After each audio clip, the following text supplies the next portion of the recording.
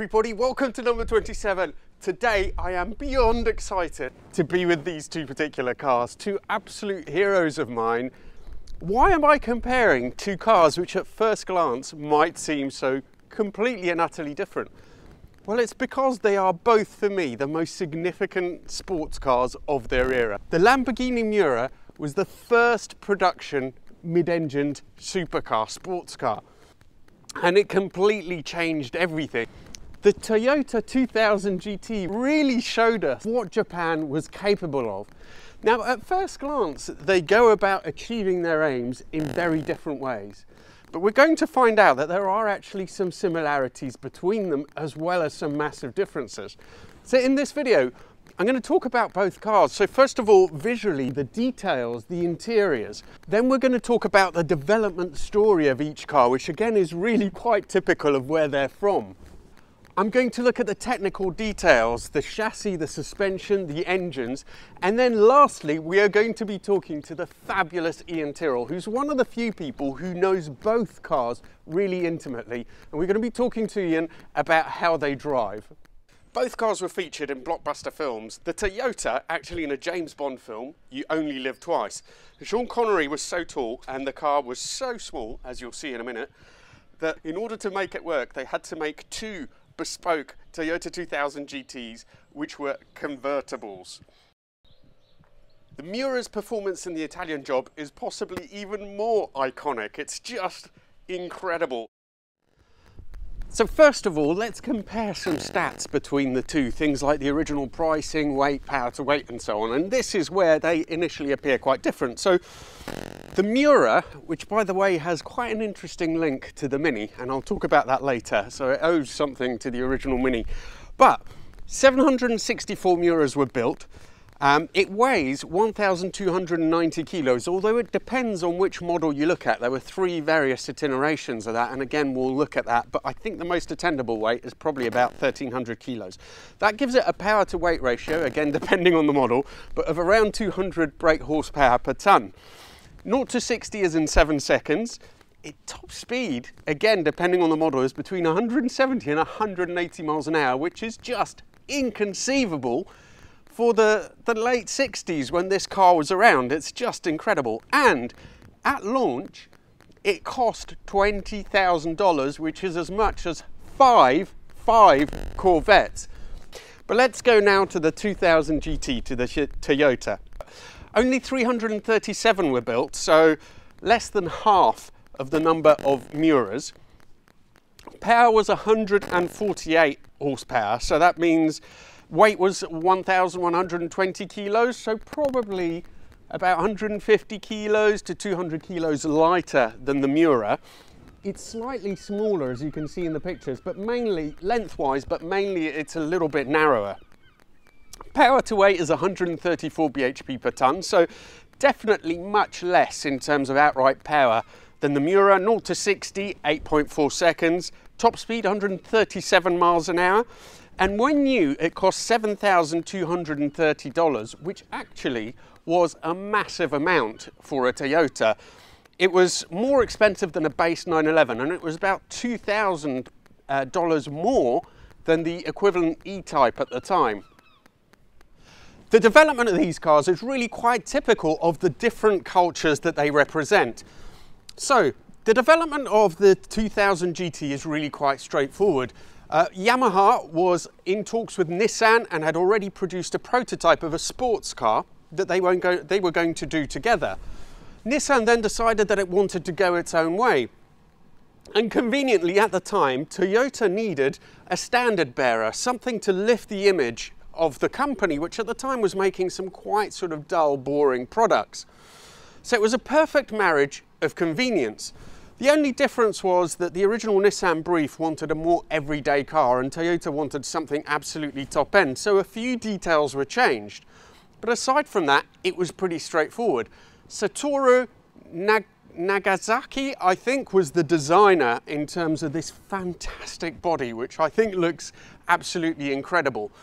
The car came out and it was really very little changed during its life cycle. There were some detail changes in terms of the lights and so on, but the main design of the car, the technical design remained totally unaltered.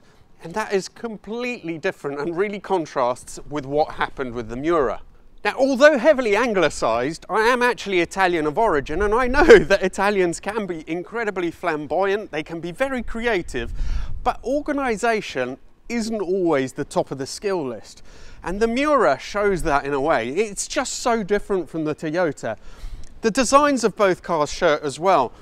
In terms of the way they look, in terms of some of the designs, if you look at those, the knockoffs on the wheel, they are so different that's nice, but it's pretty functional. That is so crazy. But anyway, let's get back to it. This car was designed by three guys who are all under 25.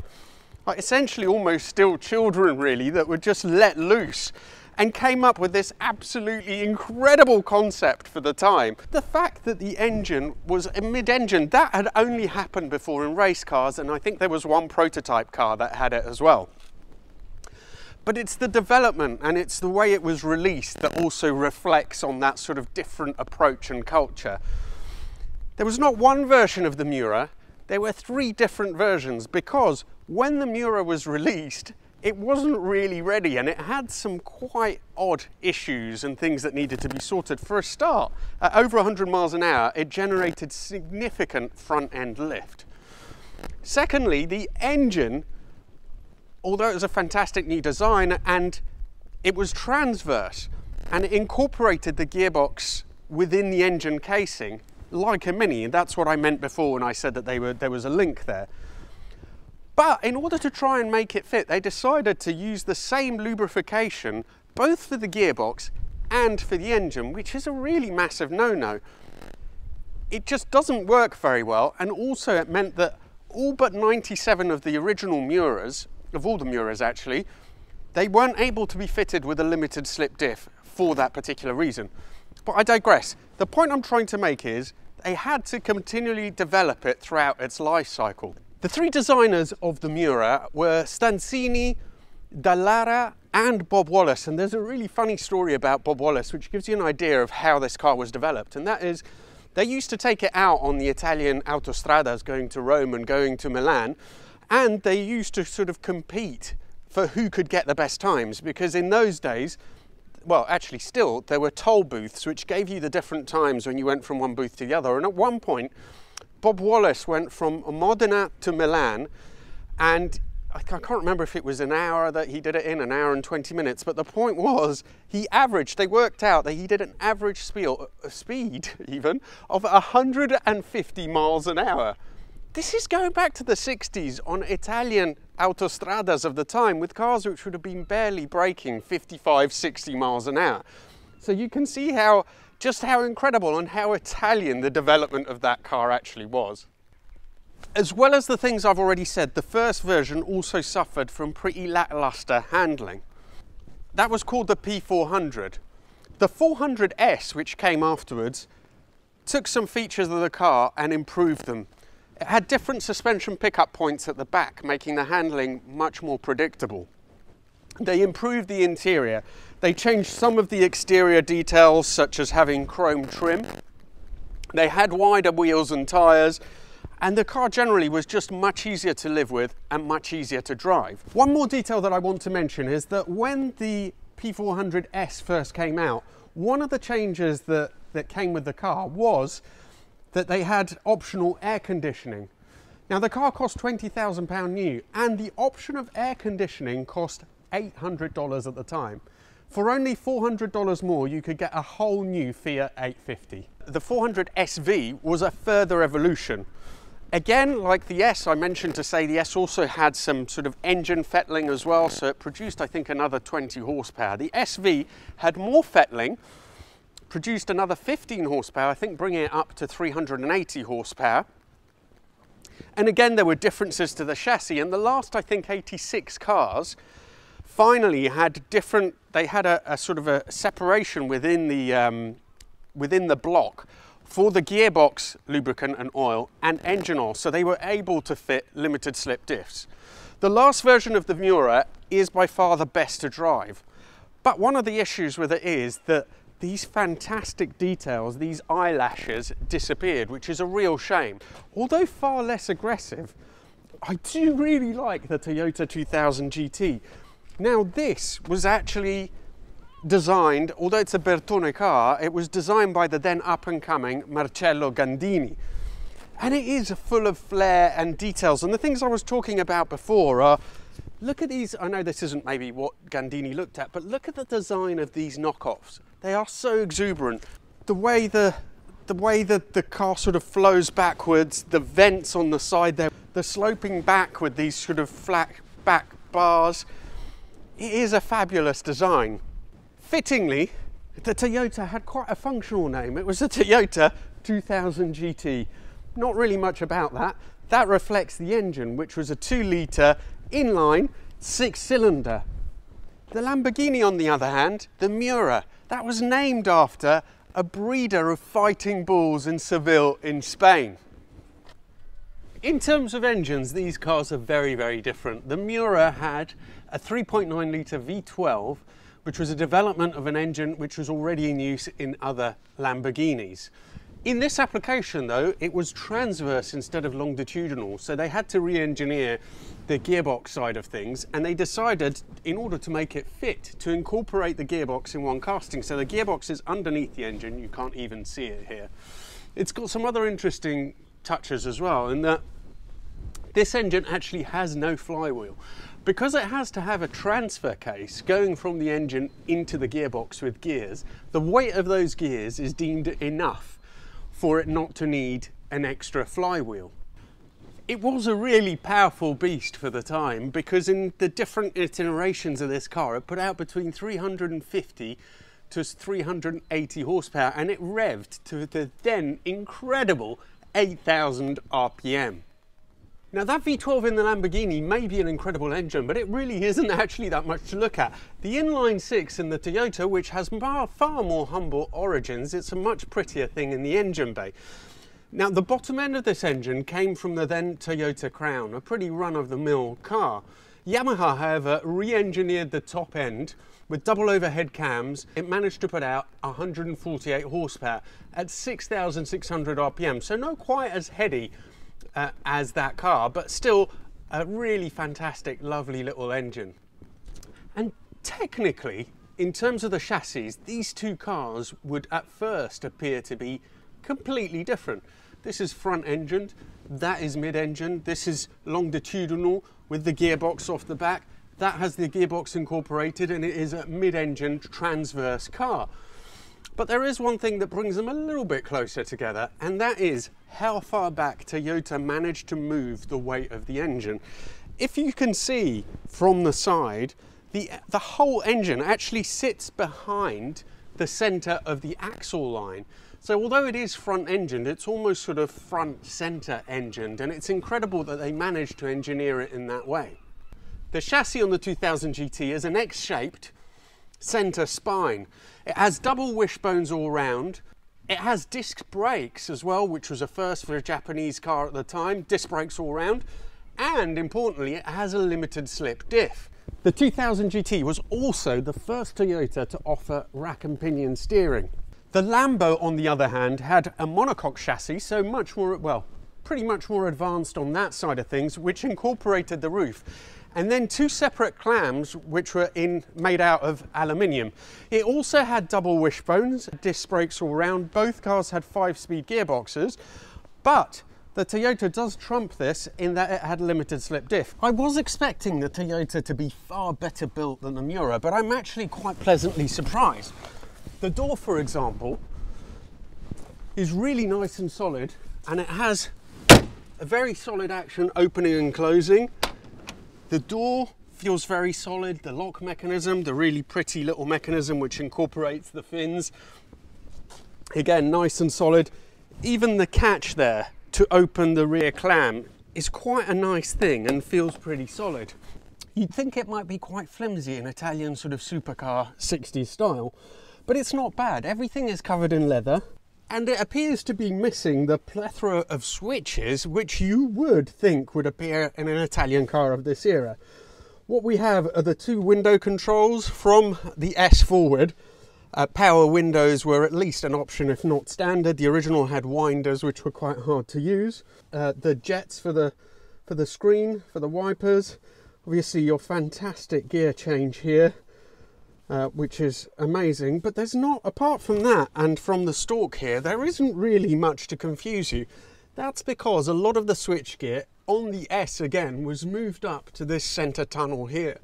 So there's a vent for the air, and then there are various switches. There's the wiper switch, there's the speed for the wipers, um, lights, fan, and I think that's also fan speeds. Um, but generally, it's not too bad for an Italian car of this era. I'd find it pretty usable. The quality, you know, it all feels it all feels pretty solid, and it's really nice to look at. The Toyota, though, is undoubtedly on another level. Now, unfortunately, I would never be able to drive this car because I simply don't fit in it. I can get in at a standstill like this, but my left knee is really wedged up against the dashboard and I wouldn't trust myself to drive it. But this interior is fantastic. The wood veneer, it really is. I, I think it's amongst the best I've ever seen on a car. You can see the influence of Yamaha, who did the interior and had their section, their piano section, essentially do that. But also, everything in here is on another level to the Lambo. It's not bad, the Lambo, but I think Iain Tyrrell in his video described it as jewel-like. That is a word that is often too too often used on my channel, but it really is incredible. The switch gear, that's the radio antenna. The switch gear is just fantastic. Even the way, although I'm not driving it, you can feel the way the gear change moves is just it's just incredible. It's absolutely lovely. The instrumentation, the little chrome bezels. The interior really is fab. It's such a shame that it's such a cramped car, but I absolutely love it.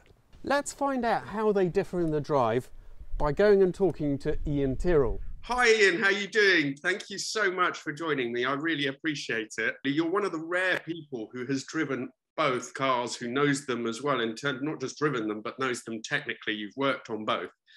Um, and so it would be really good, I think, for the video for you to just give us your thoughts on what they're like to drive and just anything else that you wish to share, really.